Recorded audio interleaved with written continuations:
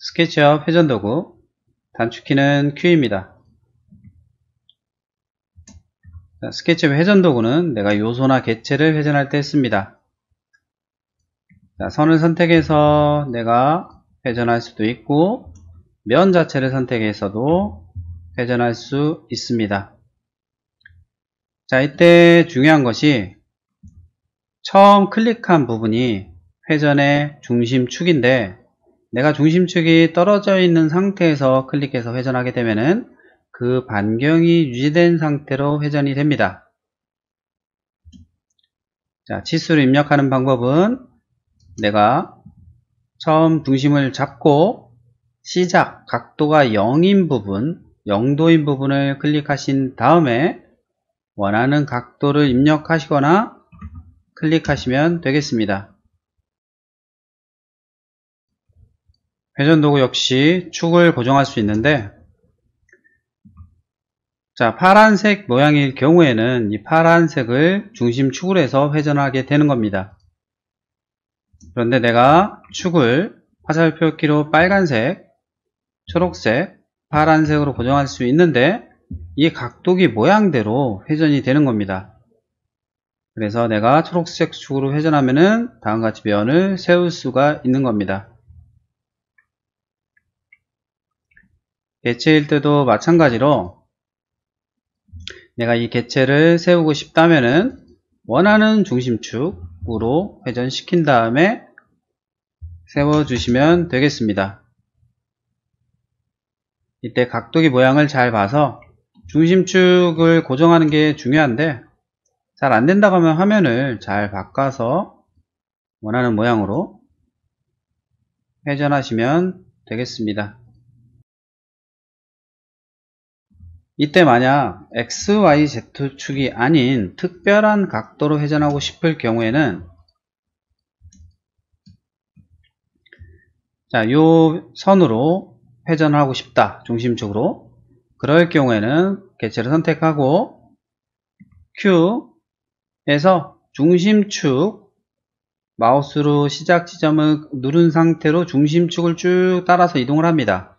이때 마우스를 떼주시면은 축이 고정이 되는데 그러면 각도 시작 지점을 클릭하시고 회전하시면 되겠습니다.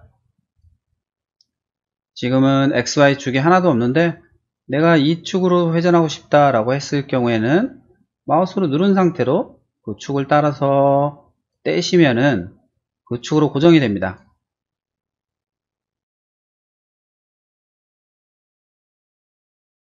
자, 이것은 XYZ축에도 마찬가지입니다. 그냥 마우스로 누른 상태로 회전도구로 마우스로 누른 상태로 빨간색 축 따라가도 고정이 되고 파란색 축, 초록색 축, 그리고 특별한 각도로 고정시켜서 회전할 수가 있습니다.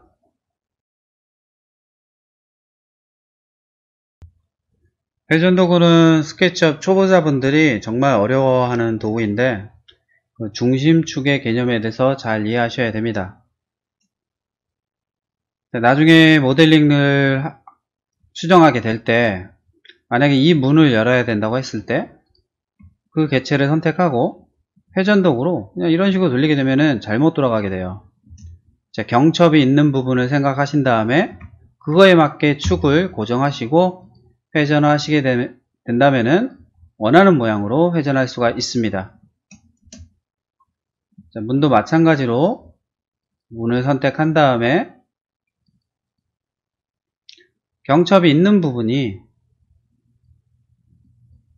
문을 선택한 다음에 경첩이 있는 부분이 문의 이 끝부분이니까 거기를 클릭해서 중심으로 회전하시게 되면은 이렇게 문을 열 수가 있는 겁니다. 선풍기 같은 경우에도 선풍기의 중심축이 자, 이 부분이 중심축이기 때문에 회전시킬 개체를 선택하고 중심을 잡아주신 다음에 회전하시게 되면은 원하는 각도로 회전할 수 있는 겁니다. 그리고 회전도구도 이동도구와 마찬가지로 배열 곱하기 배열 나누기가 가능합니다. 만약에 내가 시계를 만들고 싶을 때 자, 개체를 선택한 후 회전할 때 복사를 컨트롤 키를 누르면 복사가 되는데 이때 시계가 총 12개 12시로 되어 있으니까 360도에서 나누기 12 하면 30도. 자 30도를 먼저 이동한 후 곱하기 11 하시게 되면은 시계와 같이 똑같이 만들 수가 있습니다 자 배열 곱하기 말고 배열 나누기도 가능한데 이동하실 때 컨트롤 키를 눌러서 복사를 한 다음에 먼저 330도만큼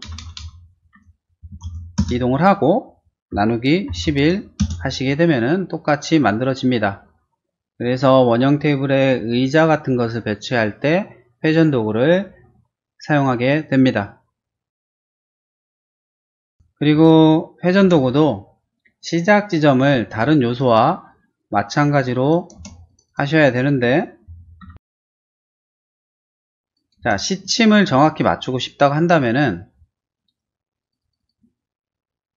자, 중심축에서 맞추고 싶은 곳을 선택을 하고 다른 요소에 갖다 대서 배치할 수가 있습니다. 자, 지금까지 회전 도구였습니다.